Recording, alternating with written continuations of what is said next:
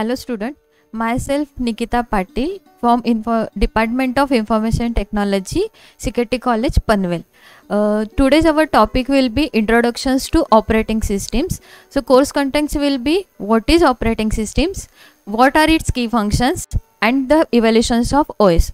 So first what is the operating system? First of all we have to see what is computer system. The computer system is the combinations of hardware plus software then what is software? Software is a application software plus system software. So an operating system is a system software that acts as an intermediary or interface between the users of a computers and the computer hardware so operating what are the goals of the operating system? First is execute user programs and make solving user problems easier. Make the computer system convenient to use. Use the computer hardware in an efficient manner. So here the operating system modes. Diagram represents the operating system modes. The first is the user modes is and concerns with an actual interface between the users and the systems.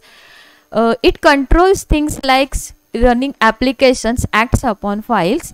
The kernel mode is concerns with everything running in the backgrounds okay? So it controls things like accessing system resources controlling hardware functions and processing the program instructions so uh, system calls are used to change mode for users to the kernels so what is a system calls so system calls is the programmatic way in which a computer programs or users applications request to a particular services from the kernels of the operating systems on which it is executed.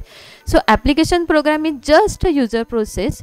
Due to security reasons, user applications are not giving access to privileged resources, the ones controlled by the operating systems. So when they need to do and input output or have some more memory or span a processor or wait for single interpret it requests operating system to facilitate all these. These requests is made through system calls. So system call are nothing but are called as the software's interpreters. Okay?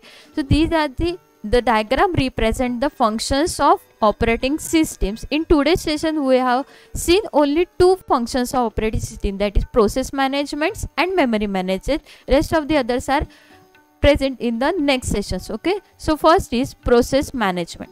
So process management is a programs in executions.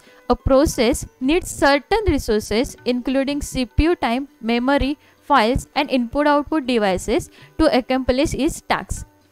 Simultaneously, execution leads to multiple processes, hence creations, executing and terminating of a process are the most basic functions of the operating systems.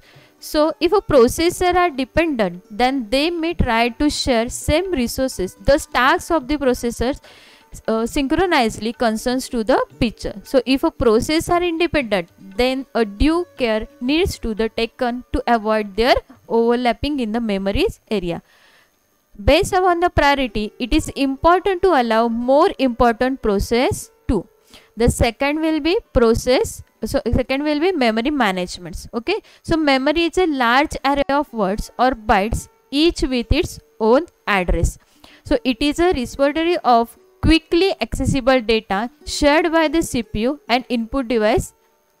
Main memory is a volatile storage device. When the computers made turn off everything stores in the RAM will easier automatically.